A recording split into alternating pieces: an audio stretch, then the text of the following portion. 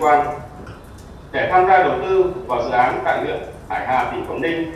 phát sinh chi phí và hai lần chuyển tiền cho Nguyễn Cao Trí tổng cộng 9,5 triệu đồng trên một cổ phần ghi lùi ngày 22 tháng 2 năm 21 và biên bản thanh lý hợp đồng chuyển nhượng 4 triệu 2. Nguyễn Cao Trí hẹn gặp Hồ Quốc Minh tại quán cà phê Starbucks. Việc Nguyễn Cao Trí tự ý lập các bản thanh lý hợp đồng với Hồ Quốc Minh là người đứng tên trị giá 1.000 tỷ đồng không được đồng ý của Trương Mỹ Lan. Quá trình làm việc số 20 ngày 6 tháng 1 năm 2023 của Viện Khoa học Hình sự Bộ Công an, Trương Mỹ Lan có cùng bôi nhọ lên vị chủ trí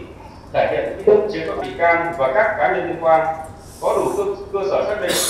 lợi dụng việc Trương Mỹ Lan bị bắt đồng phạm với Nguyễn Cao Trí nếu tử.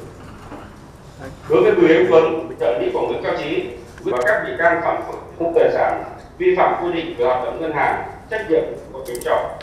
vật chứng tài sản đã tạm giữ qua đề. Trong đó, bị can Trương Mỹ Lan, Trương Huệ Vân là 7 tỷ đồng, ông Tạ Hùng Quốc Việt Vân Hùng, nhân viên tòa nhà Xerox 127 Bát Tư, phường Võ Thị Sáu, quận 3, thành phố Hồ Chí Minh 190.000 USD, gia đình các bạn 118.000 tỷ đồng, 118 tỷ Việt Nam đồng và 306 thành viên An Nhật Tân Long An 50 triệu 50 tỷ đồng. Công ty cổ phần Sài Gòn Kim Cương mất 75% cổ phần, qua đó trở thành cổ đông có quyền lực để chỉ đạo điều hành thực chất là thao túng toàn bộ hoạt động của ngân hàng SCB phục vụ cho các mục đích khác nhau của mình. Trương Mỹ Lan cùng nhiều cổ đông cùng nhiều đồng phạm đã thực hiện một chuỗi hành vi gồm tuyển chọn bố trí nhân sự thân tín của mình vào các vị trí chủ chốt tại ngân hàng SCB, thành lập một số đơn vị thuộc ngân hàng SCB chuyên trách cho vay giải ngân theo yêu cầu của Trương Mỹ Lan, thành lập sử dụng ngân hàng thành hàng ngàn công ty ma,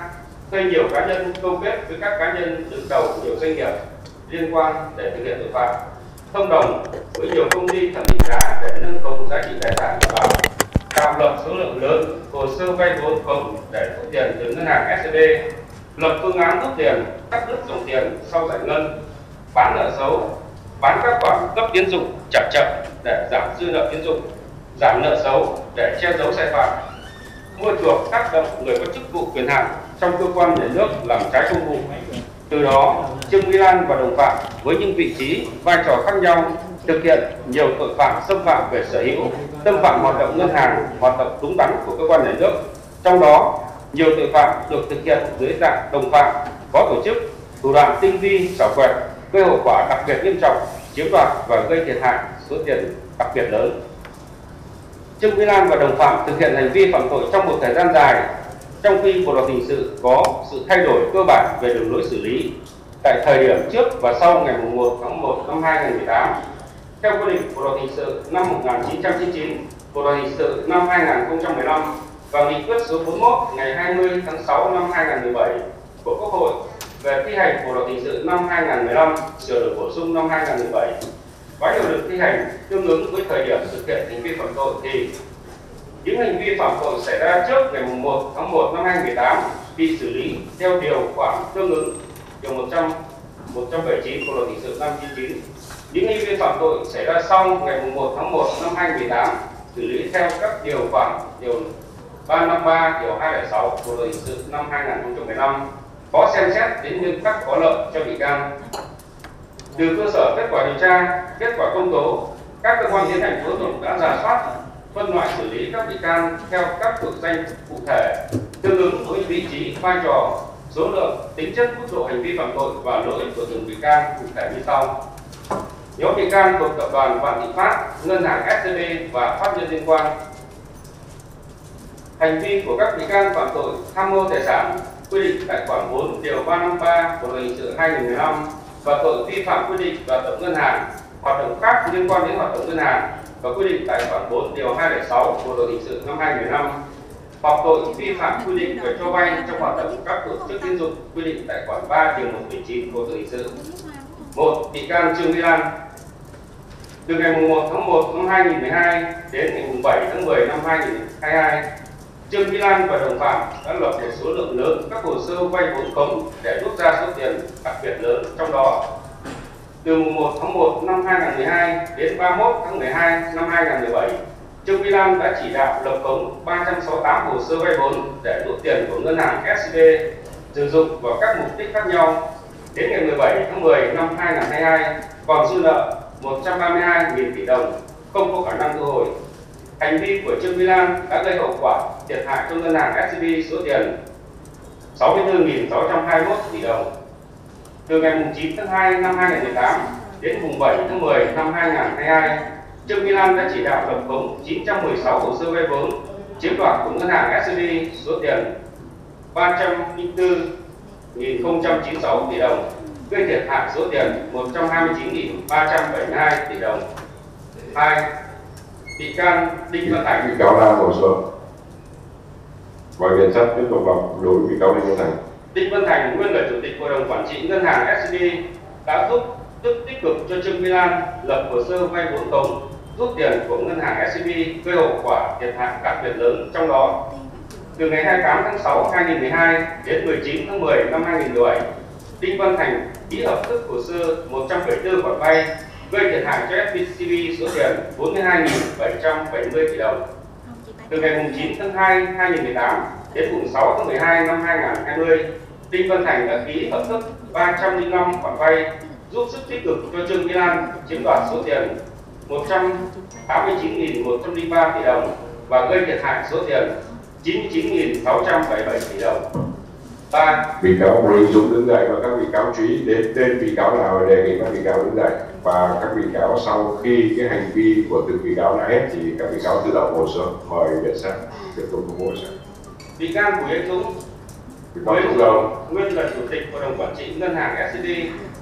đã tích cực giúp sức cho bị can Trương Mỹ Lan lập hồ sơ vay vốn khống rút tiền của ngân hàng SCB kiểm tra các bị cáo và thủ tục bị cáo Dũng đứng dậy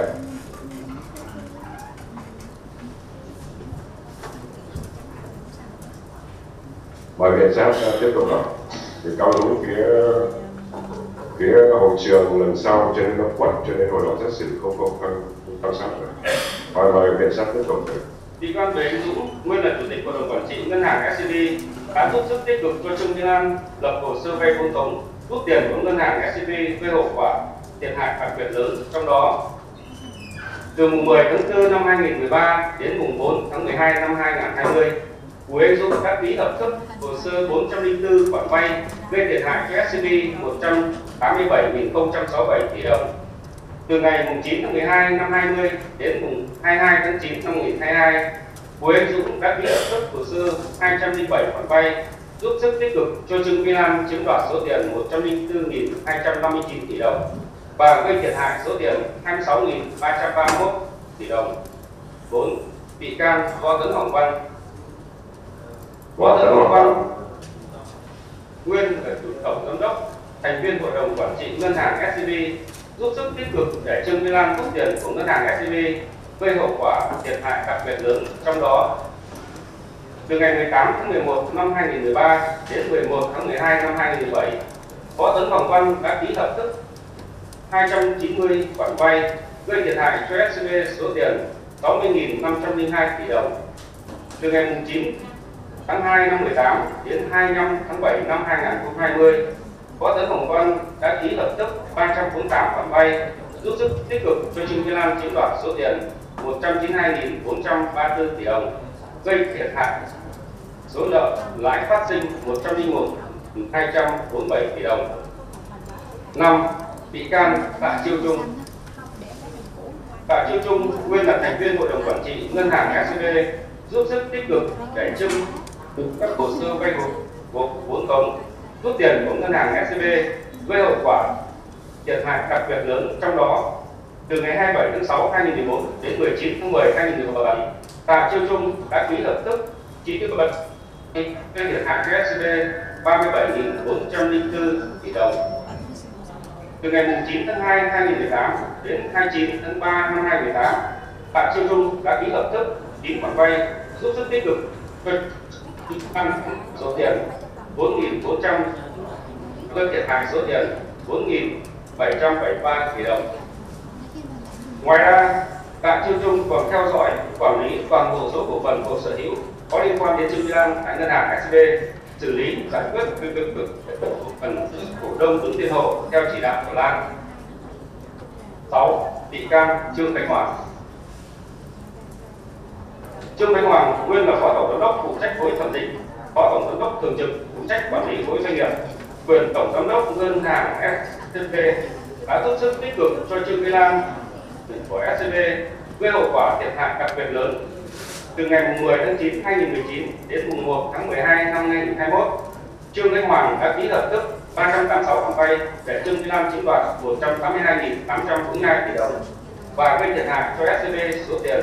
65.004 tỷ đồng. 7. Bị can Trần Mỹ Dung đứng tên đại diện pháp luật các công ty ma, đứng tên cổ phần vay vốn, ký chứng từ rút nộp tạm giữ hồ sơ vay vốn khống và rút tiền giải ngân tại ngân hàng SCB theo công ty cổ phần tập đoàn đầu tư Vạn Thịnh Phát là người trực tiếp tiếp nhận chỉ đạo các cá nhân liên quan đến phương án giải quỹ giúp sức cho Trương Mỹ Lan và dư nợ của các công ty này phối hợp với Nguyễn Phương Anh thành lập công ty ma để đứng tên khoản vay phối hợp với Nguyễn Vân đã thực hiện chỉ đạo của Trương Mỹ Lan đồng thời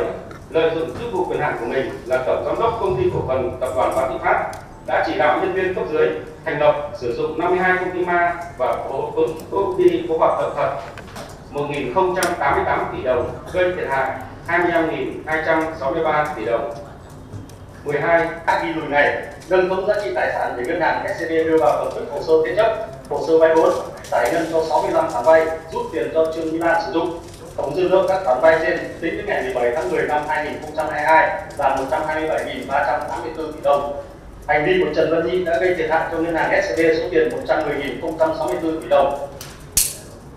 Hai, bị can Trần Thị Kim Ngân.